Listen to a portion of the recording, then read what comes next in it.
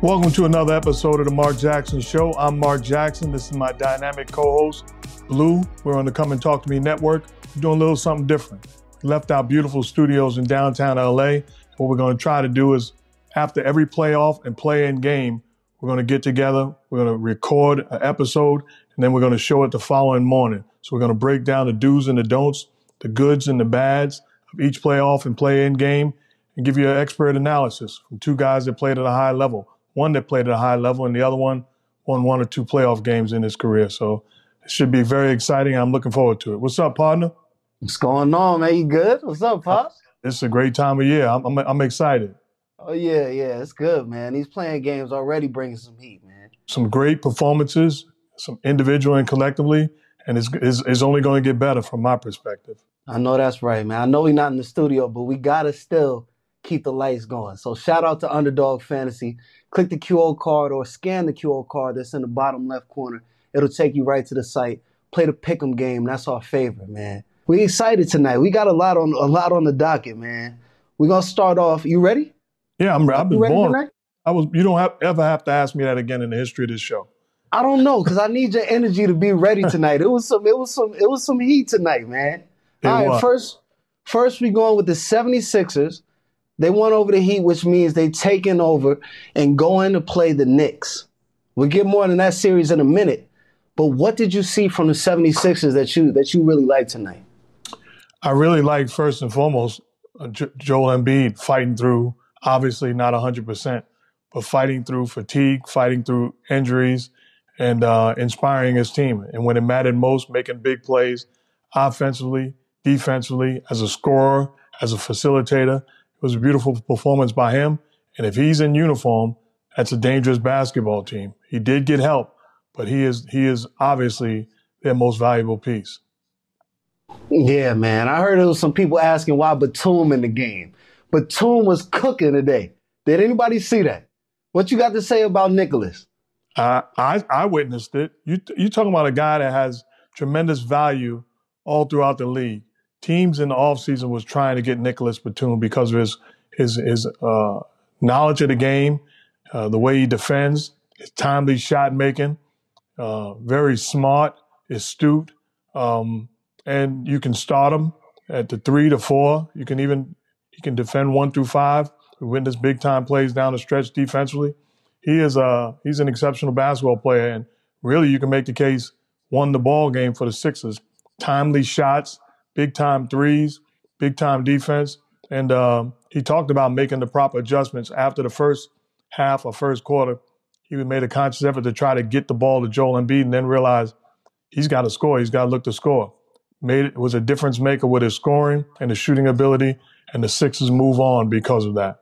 How much is because it's it's not a coincidence that somehow veterans continue year after year to show up big in the playoffs. How much is is that veteran presence on a team? How important is that to to a championship contender or even a playoff contender? It's huge. You got to have veterans, or you have to have very smart, well coached young guys that, that were well coached in college that understand the terms that you use defensively, offensively, the schemes that's used to making adjustments on the fly, that you don't have to spend a whole time out to explain different things so they get it quick.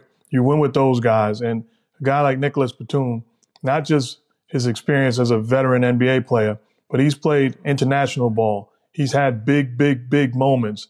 Uh, and, and so th- he's not going to be, you know, bothered by a, a, visiting crowd or a missed shot or a bad half or a bad ball game. He's going to make the adjustments and you win with guys like that. Not only will they inspire themselves to bounce back, they'll see a young guy like Tyrese Maxey or, or, or, or Tobias Harris, who's not young, but didn't have a particularly great game. And, and th- those guys will put a bug in their ear, inspire them, and let them know we live to see another day, and you're going to win a game for us. It just wasn't your night, but continue to do the things that put us in position to win. So those guys are valuable, valuable.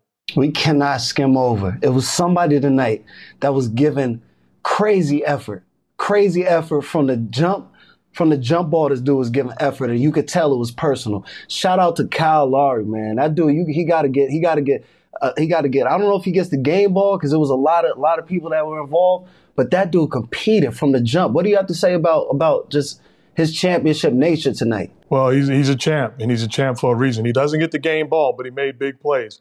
And this is where you don't fall in love with analytics because if you looked at the stat sheet alone, it'll tell you, ah, he played okay. He made big time plays, willing to sacrifice his body, dove on the bat. Even that last, almost the last possession, he hit the deck two times on, on the last play and basically saved the ball from going out of bounds or, turnover by throwing it to uh, Kelly Oubre for the foul and, and, and going to the line to ice the game. Kyle Lowry, his toughness, his discipline, his uh, aware and alert, an extension of the coach on the floor. He's a champion for a reason. He did it in Miami earlier in the year. He did it in Toronto. He's, he did it in Memphis. Wherever he's been, he's been an extension of the coach and a true, true competitor. And you, you talked about it. Made big plays. Defensively, I can make the case the biggest play of the game is, is, is, is, is when he swiped the ball and stripped it from behind, causing the turnover when the Heat was pushing the ball up the court, about to go up four points. Big play by Kyle Lowry, not giving up on a play getting back into the picture. That's how you win playoff games. That's how you win a championship. Yeah. I need I need going to the other side with the Heat. I need I need them to hit shots, man. They didn't play that bad tonight, but but they need to hit shots. Even even guys like Jimmy Butler, underrated play play tonight. He played great. He had steals, defended, and brought brought a nature to his team, a grit but they got to hit shots, man. The role players, even the even the stars, got to hit shots. Having Duncan Robinson back at some point, healthy and whole, he's a shot maker, big time shooter. Tyler Herro just coming back from injury, so trying to establish a rhythm. So the guys that they have that are paid to knock down shots are trying to get a rhythm and establish rhythm coming back. But the thing that bothered me is they had the game iced away. They were blowing the Sixers out. The crowd was booing. The hometown fans were booing the Sixers. The pressure was on them. Miami Heat, you can't take possessions for granted. You have to value possessions and value the basketball and make sure you continue to do the things to put you in position to have a big lead. They started to crumble. They started to be careless. They started to take one reckless shot leads to two reckless shots. One turnover leads to two turnovers. All of a sudden, uh, a 15 point game becomes an eight point game, and you've allowed them to get back into the picture. And the worst thing possible is now you have to win the basketball game for the second time instead of putting them away. And that costs the Miami Heat the, the, the, the W and forces them to now be in a must win situation. Pops, X was buzzing tonight. They was talking, they was talking about a certain sweep that happened between the Knicks and the 76ers in, in the year. I don't even know what year it was, but I need you to give me the details and what what was what's that about, man? Man, time flies, man. I, I, looked at it. Somebody sent it to me, and it 35 years ago was the last time that the Sixers and the Knicks met in the playoff series. My New York Knicks team that I was a part of, Charles Barkley and all those 76er teams. I mean, players was a part of, and we actually swept them. I remember great times. I remember they wanted us because during the regular season, we may have played them. We may have played them five times during the regular season. They beat us four they beat us pretty handily and they had our number. So they felt comfortable coming into the playoff series and we swept them and uh, fun time. We it was leaving the off of the court. There was a broom just just happened to be calling my name, and about four or five of us grabbed the broom and swept it across the spectrum floor. Great memories, great times, and uh, I really anticipate this being an outstanding series. Man, I want to know who you got, man the city needs to know is the Knicks going to beat the 76ers? I'm going to say the Knicks will win. I'm going to say the concern I have with the 76ers is the same concern I had against the Miami Heat, a healthy Joel Embiid, but more so against the Knicks. Because Jalen Brunson, if I'm coaching the New York Knicks, it's high screen and roll, 1 5. I'm putting Joel Embiid in every pick and roll situation possible and I'm attacking him. Against the Miami Heat, he was in the drop, which allows the point guard to get the airspace and become comfortable. If you do that against Jalen Brunson, this just in, that's suicide. You, it's a recipe for disaster. He will have his way and win the battle on his terms. A master at creating contact, a master at getting to his spots and making you pay the price. They have to make the adjustment defensively for them to stand a chance against this Knick team. Yeah, they were struggling with Tyler Herro tonight. They gonna have a they gonna have a, a lot on their plate. Come what what day is that? I don't even know. I don't even know. But they're gonna have a lot on their plate. Yeah, it's gonna it's, it's it's gonna be an exciting series, and the Knicks will have their hands full also because you got guys like Tobias Harris, who's from the New York area, played in played in uh, Dix Hills in high school. You you got Kelly Oubre, who actually played very well the last time he was in Madison Square Garden against the Knicks. You got Kyle Lowry. You got you got guys that have a chip on their shoulder. Tyrese Maxey, he's going to have a mentality like I got something to prove. I'm better than Jalen Brunson, so he's going to play with an edge. So it'll be an exciting series. And uh, I think ultimately, what you don't want to do if you're the Knicks, you don't want to let Joel Embiid live on the foul line. You want to defend him without fouling because he's going to get his, healthy or not. He's going to get his. You look today, didn't didn't play particularly well, still wound up with you know, double double and, and, and, and impacted the game. So he's going to be a difference maker. What you don't want to allow him to do is score the basketball from the field and also get to the free throw line because then all of a sudden they're, they're having their way offensively. And what's what's it like playing in the, in the Garden in the playoffs, man? What's what's that experience like? No place better. No place better. You think about it. You Jalen Brunson, who's had as good a year as I can remember God having in, in, in blue and orange, and and and he he was in tears at the, at the last game. You know, the last game of the season. The crowd ch- chanting his name. Just the emotions when you realize this is the place that the Knicks won two championships. This is the place where uh, Willis Reed and Walt Frazier and Patrick Ewing. This is the place where Wayne Gretzky and Mark Messier. This is the place where Ali and Frazier fought you, you all of a sudden realize this is a special place that's nowhere else in the country has. And now you are him when the lights get brightest. So you embrace it, you realize it, and you want to extend the season. It's not enough to beat the Philadelphia 76ers. We got bigger and bigger plans. So now handle your business and continue to move on. Game two from Wednesday night, man. We had the Bulls sending the Hawks packing, man. They out of here. They going to Cancun they're gone. How you feel about that game? What you what you think, man? Where they going? Cancun. they gotta uh, go, man. Get their fishing bags. Get they get the family in the in the family van. They going everywhere. It's it's time for summer vacation. Yeah, you asked me about the game on our last episode, and I picked the Chicago Bulls. And the reason why I picked the Chicago Bulls and I felt so good about them is because of their habits. Are they talent for talent better than the Atlanta Hawks? Probably not, but their habits. The Hawks have been inconsistent all season long. To me, they've been the most disappointing team in the league this year. Uh, they didn't. You think about it. They play against in a must-win situation. You give a limited Chicago Bulls team all they want offensively, and they push the basketball off of made or misses they, they push the basketball and wind up with high percentage layups or wide open shots time and time again. I don't see anybody frustrated. I don't see anybody upset. I don't see anybody discouraged. We just take the basketball out. We run our offense. We try to get our baskets and we move on. It, it's just been a disappointing season for the Atlanta Hawks. Big time win for the Chicago Bulls, especially when you're talking about DeMar DeRozan, the guy who led the league in minutes played, underappreciated, future Hall of Famer goes against everything the analytics stands for because of his ability to take over the game in the mid-range area. Master at the mid-range, gets to his spots, elevates, puts so much pressure on you. Big time play by him, a guy that was doubted early on in his career.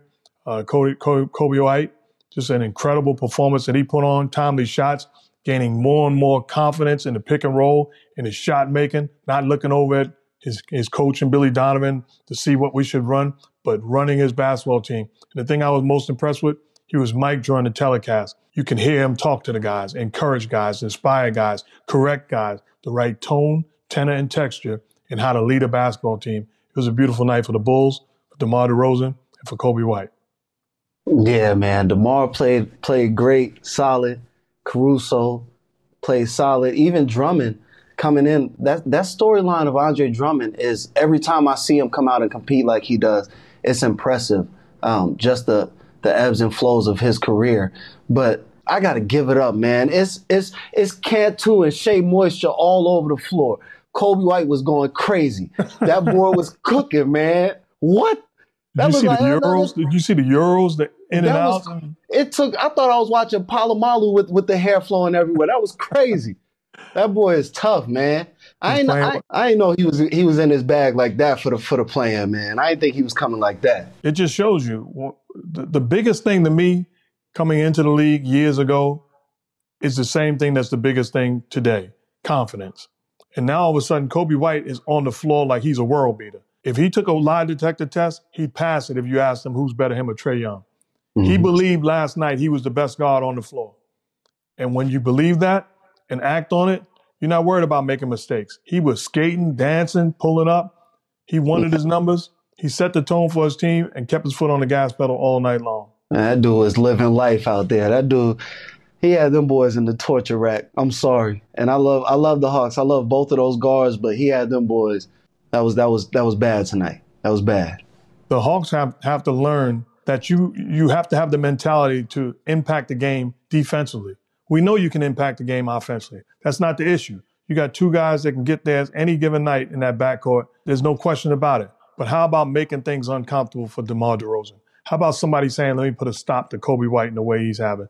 The mentality that they should have is the mentality that Andre Drummond had, which you touched on. Here's a guy, I saw him speak to kids couple of months ago, a year ago, talking about he was a max player, and now all of a sudden he's playing for the league minimum. He said the mentality did that, but he's embracing it now. He learned from it. He's coming off the bench and he's impacting the game. You see him sprint the floor, block shots, rim run, dunk. At the, he, it's just a different mentality and it's a winning mentality. This guy is still a starting center in this league. He's one of the all-time great rebounders in the history of this league. Documented. It's not something I heard. It's something I know. Documented one of the all-time great rebounders in the league. And it's inspiring to see him embrace the role and, and accept the challenges and then respond and react. What's the what's the outlook for the offseason for Atlanta? What's their plan? What how do they attack? They got to make some changes. You, you got to make a decision.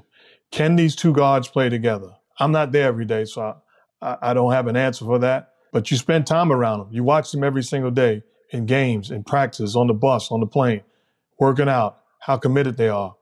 Not not they say they want to win, but do they mean it by their actions?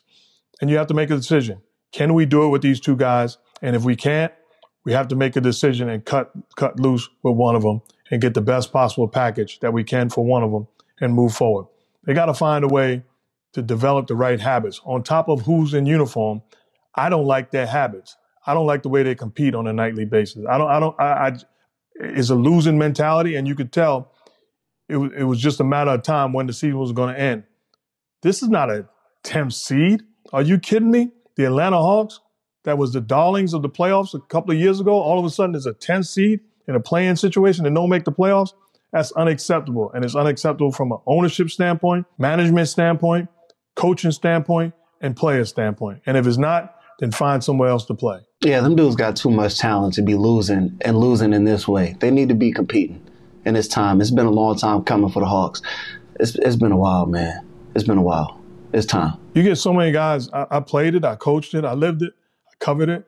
You get so many guys that say all the right things. You put a microphone in their face, ask them questions. Yeah, it's disappointing. They don't. There's there's some guys that just don't care, and those are the guys that you gotta you gotta depart from because they will they will be a cancer in your locker room, and you find yourself on vacation. I'm not talking about anybody specifically because I'm not around them, but their their, their body of work for 82 games and now 83 games tells me they had the wrong habits. And I'm not just talking about I'm not just talking about guys in uniform. I'm talking about across the board because that's how I judge it across the board. Your habits start with your head coach and the organization, and they fell short of that. Let's keep going now that we broke some games down. Everybody keeps asking in the comments for you to put your Coach Mark hat on. They want to see Coach Jackson. They want to know what you're thinking and what your thought process is. So I got a few questions for you. We're gonna run them down, and I just want to know what you what you would do in, in a, a coaching seat. You know. Absolutely. Here we go. Coach Mark, what's your pregame message to the Bulls prior to their elimination play-in game versus the Heat? First of all, I keep my coach's hat on. I keep all my hats on at the same time. So it's yeah, I, you got a big old head. You got a big head. The respect for your pops, man? but, I, but I'll tell you this: What's the message? The message: We're shorthanded. Don't blame me. Blame the league. We didn't pick the Miami Heat. We didn't pick to go to Miami. It ain't our fault. They got to see us. We're shorthanded, but we're no excuse basketball team. The mentality is put the same work, energy, and effort that we put in in the play-in against the Atlanta Hawks. We're going to respond the same exact way. We're not celebrating. We had 20,000 people in Chicago getting crazy and excited about what we accomplished. Guess what, fellas? We haven't accomplished nothing. Let's go handle business in Miami. Let's move forward to the playoffs, and then we'll begin to celebrate by advancing, advancing, and advancing, and ultimately maxing out by winning the crown. But let's not settle for beating the Atlanta Hawks. We didn't do anything. Oh, that felt good. That was a good one. All right, all right, all right. I like that. I like. You ready to play? Yeah, I'm ready to play. I'm ready to play. I'm interested though because we got to see Coach Jackson in the Heat. Well, well guess what? You got me sparked now. We're not we not going to South Beach. We're not going to Prime 112. We're not hanging with D- DJ Khaled. It's going to be another one. Not another uh, one, Khaled. Another win. Another win and advance. That's the mentality that we have to have. You got me sparked now. Is that is that is this still your, your speech for the Bulls? Absolutely. Okay, all right, all right, all right. Now, now, now I'm ready. I'm ready. I'm ready. I'm ready. We going. We we, we running out the we running out the locker room to that one. Okay, that, that got good. me. But we need to switch now. I need to know what's your what's your speech to the Heat before the game. That across the room is a well coached, hardworking, competitive basketball team. Don't shortchange them because if we do, we'll find ourselves on vacation. Guess what? I made reservations in Boston. I expect to be playing the Boston Celtics. I expect to have you with me. Let's handle our business. Let's not have any mishaps. Let's take care of business individually and collectively. You got your matchup. I got mine. I got Billy Donovan. Now y'all take care of your matchup and let's win and get out of here. Mm, mm, that's tough. All right, I like that one too. That's tough. But I think, I think off of those two, if I had to pick off of those two, I'm I'm going out. With, I'm going with the Bulls then, because you hype you hype me up with the Bulls. I was yeah, ready. I went hip hop on you. I talked about I know, DJ Khaled and all that. that. I was yeah. ready. Yeah, of, that's, course, of course. That's my choice now. So I'm going with the Bulls. Who's your choice for the game? Who's winning? My choice for the game is going to be the Miami Heat. The reason why is because they're playing at home. They have history. They have championship DNA. They got an outstanding coach. Both teams are well coached, but uh, I think they're a deeper, healthier basketball team right now. But I wouldn't be shocked if Chicago win. But since you asked me a pick, I'm not going to be on the fence.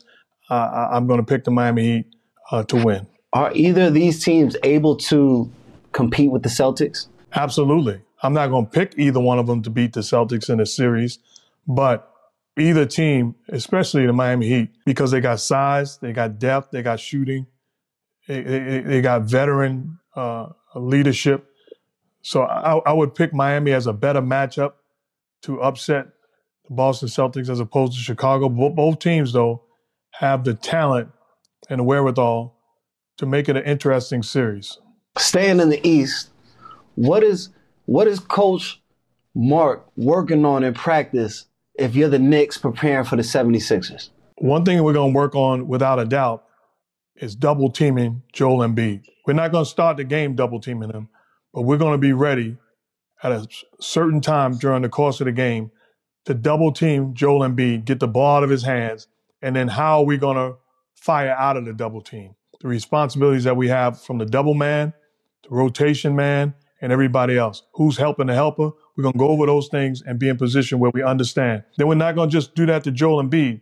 There will come a point in time with our activity, our competitive spirit, and our length, we're going to disrupt Tyrese Maxey in pick and roll situations. We're going to try to trap him. We're going to try to make him feel uncomfortable. Because what we don't want to do is have that two headed monster get it going, and then we, we got to deal with it. How are you handling uh, the 76ers having an injured Joel Embiid and just riling up this supporting cast? What's your game plan if you were if you were coaching them? Guess what, fellas? I'm hurt. I'm on IR. I'm not 100%. That's not an excuse. It's not an excuse. Give me what you got and we'll live with the results. Max out. Do not come back into this locker room with anything left in your tank. I want to see the light, bright orange or bright red, whatever type of car you have. I want to see it on empty. Don't come into this locker room with your head held down with something left in the tank. Let's take care of business and move on to game two. One game at a time. We're not looking to win four. We're looking to win one and move forward. That's the mentality. But I'm not 100%, and I'm not making excuses. Uh, this is impressive. This is low key like, you know, when you see like the ciphers and the and the and you throw out like a, a word and the and the rapper does like a bar with the word you low key like that with, with, with your with your sermons and your coaching and your, and your moments. Like I feel like if I just said like Christmas, you could give me something that will make my heart like swell up for a minute and feel feel like I'm ready to play game seven. I got to give you your flowers. You you you top of the line with that. Well, I appreciate it. I was that kid sitting in the corner, being a coach, a player, a motivator, announcer. I was all those things. So Shakespeare said there's sermons in stone. So everything that you experience in life is is a is a story behind it to tell and be inspiring. So I don't stumble onto these things. I document them and I have them locked and loaded at all times. I, I believe me when you ask me for a speech, I got about five. I just happened to pick one. So I'm fortunate enough to be in that position. And experience is a great teacher. So it's a couple of NBA topics to get to. We're gonna touch on a few. You ready? Absolutely. All right. So first off, the Warriors had their exit interviews, and they gave Klay Thompson a vote of confidence. What's your What's your opinion on that, and how do you feel um, just looking at on the outlook of Clay's Klay's career moving forward? I don't think it's breaking news because I think if if you didn't want Klay back, you would still give him a vote of confidence. It's the way to go out for what he's been able to accomplish in uniform on an historic run. Klay Thompson is is a big time basketball player still. I really believe he's a legit starting two guard that can be impactful on a championship team. I think he has plenty left in the tank. Had a bad night in the play-in game. Admit that, move forward. But I hope to see Klay Thompson healthy and whole and still knocking down shots for a long time to come.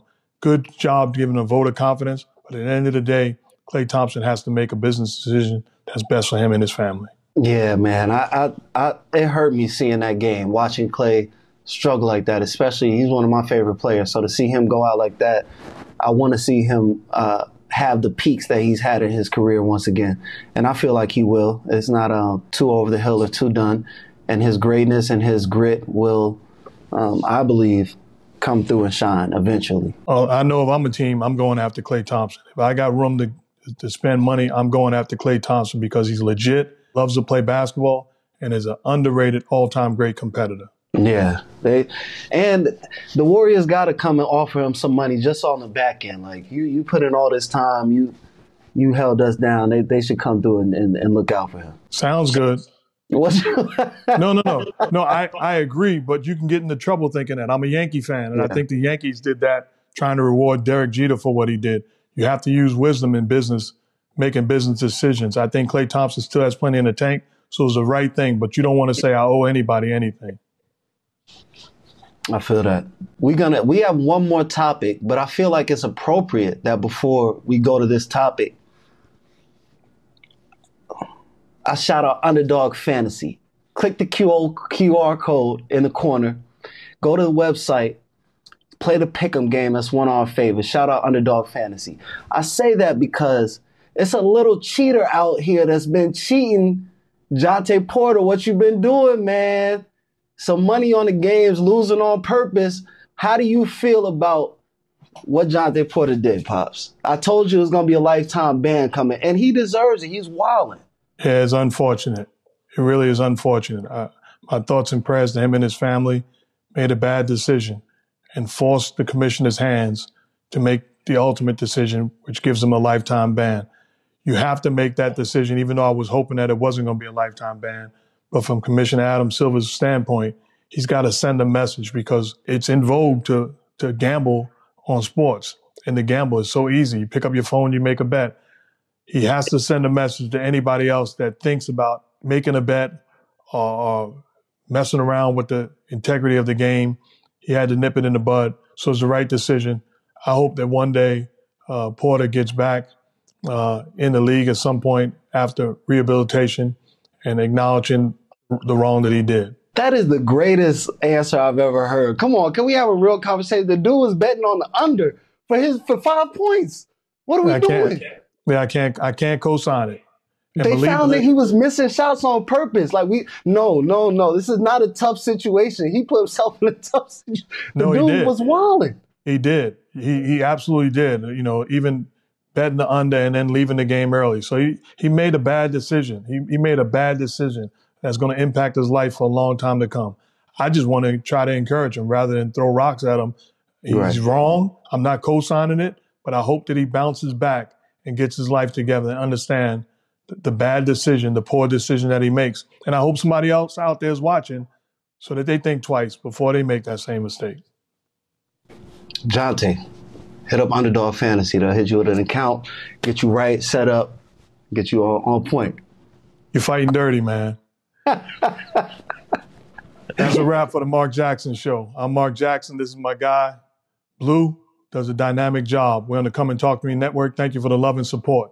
Remember, Dirk Nowitzki lost in 2007, the number one seed, the MVP, lost in the first round of the playoffs as a one seed to the eighth seeded Golden State Warriors. He yelled, he screamed, he punched a hole in the Warriors locker room. He said, documented, if I had not lost in 2007, I would not have won a championship in 2011. Old man said trials and tri- tribulations, transportation for where you're going. I don't know what you're going through. You've suffered a major loss. You screamed, yelled, and maybe even punched. Hold on. Victory is on its way. Blessings.